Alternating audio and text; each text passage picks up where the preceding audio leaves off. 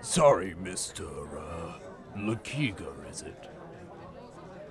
The strange man over there in the corner asked why you're sitting at the wrong table.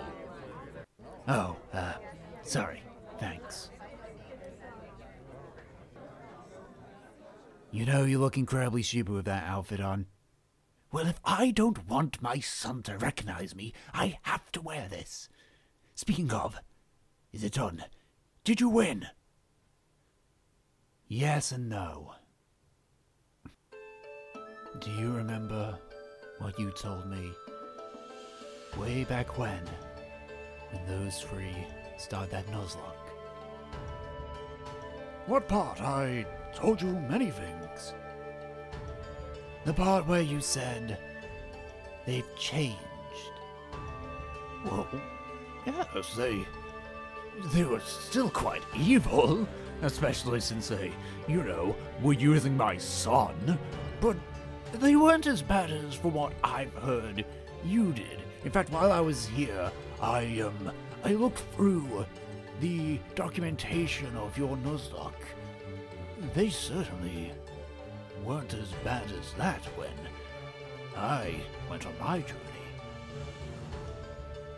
Do you know why I came here to the Alola region? Do you know the real reason why? Well, I would assume it's to relax after all. You were training on Mount Silver for a while, and you were a former Kanto champion. It's because I didn't know what I wanted to do. Here I was thinking, thinking that I could become champion and simply relax.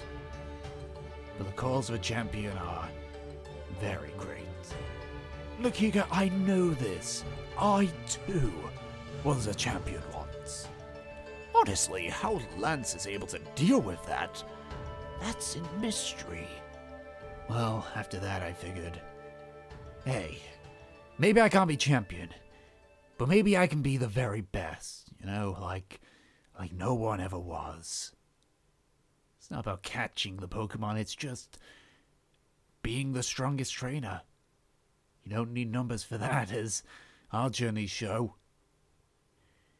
So, that's why I went to Mount Silver.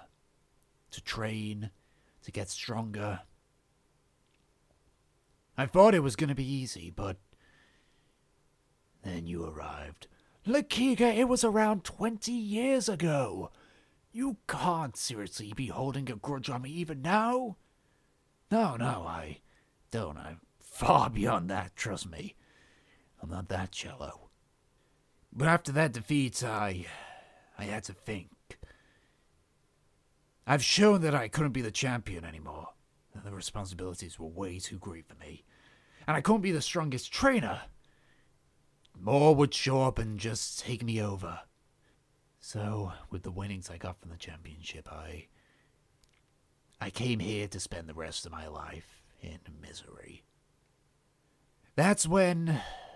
That's when those three came back. And that's when you told me to try and stop your son. Lakiga, you have been stalling long enough. Tell me, did you stop Lorente? Well, I wasn't able to stop him becoming champion. He. There wasn't enough time.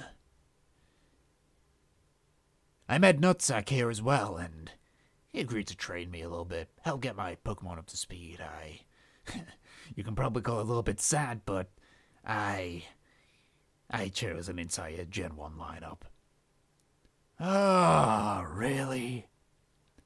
What can I say? I'm bound by nostalgia. While we were training at this place called the Battle Tower, we were approached by the owner. He knew who we were. We were former champions of Kanto, and he asked if we would want to become leaders of the Battle Tower. Nutsack agreed. He was tired of becoming a gym leader, he was tired of being a champion, so the idea of just basically making sure this place doesn't fall apart and seeing people fight without really directly getting involved unless he wants to, that sounded good to him. I, on the other hand, well, I wasn't sure. So he asked us to take a walk to talk it over, see what we're gonna do, and. As luck would have it, I ran into your son. But here's the thing I didn't challenge him, he challenged me. Look, Higa, I challenged you all those years ago.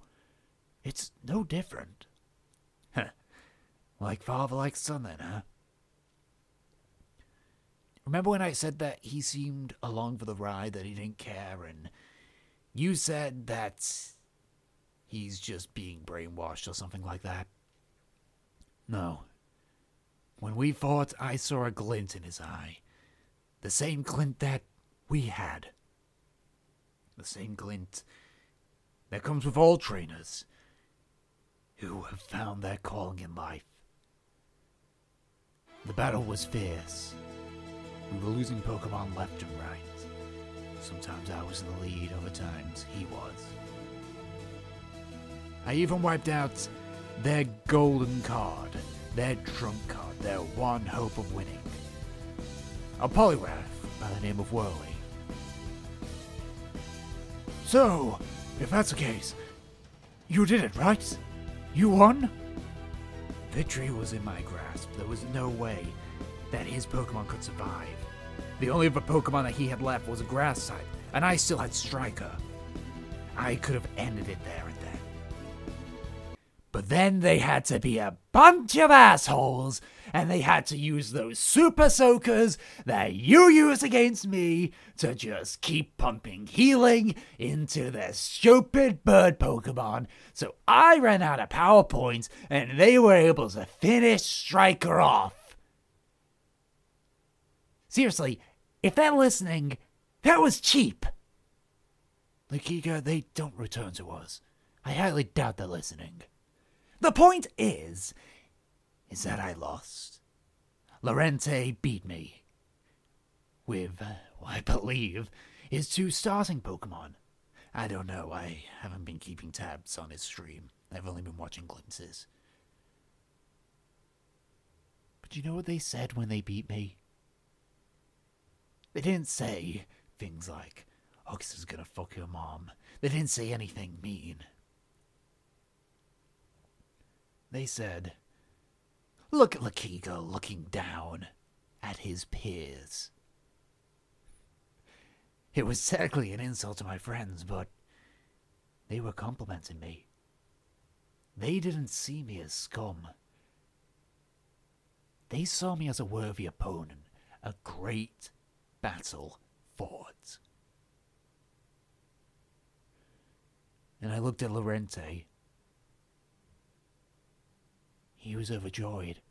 He had beaten the legend that is Lakiga.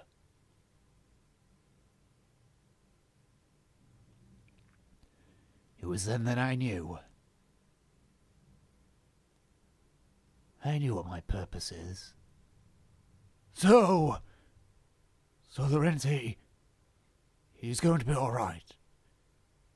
You're sure of it? You know, I was the last obstacle in your journey. Sure, you had a couple of Pokemon that you had to fight afterwards, but for all intents and purposes, I was the end of your story. And it appears that with my defeat, that is the end of the story for Laurenti as well. Pokemon champion and defeater of a legend. Oh, oh, I'm so relieved. Uh, so, you're sure he's okay? He's not turned into a, a mindless monster? Well, he did ask me to give you a message. Get rid of that ridiculous outfit, Dad. You look like an idiot. Ah, oh, that's my son. Yeah, he, uh. He gets a lot from you, Tantor. It's been fun, but I gotta go. I've, uh. got a lot of work to do. Oh, have you found a special someone or something? nah, nah. I don't think that'll ever happen to me, but hey, I guess my girlfriend can be the battle tower. Lakiga! My purpose, Tantor, is to see that the next generation have that glint in their eye, have that love. And hell, if those three come back, I will welcome them and I will be ready for them next time. Anyway, I gotta get to work. I don't trust Nutsack in control of that entirely. Oh, also, if you ever visit your son again, be sure to take Mr. Steak with you. I'm sure Tapu Mr. Steak would like to meet him. Smell you later, Tantor.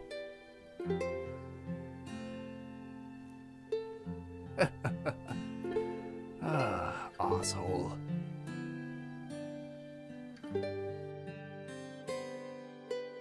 Hey guys, it's Ticken. Welcome to the Pentology, I think it's called, of this Lakiga and Tantor thing. I wasn't expecting this to be this long, but you guys enjoyed it, so I decided to keep going on it.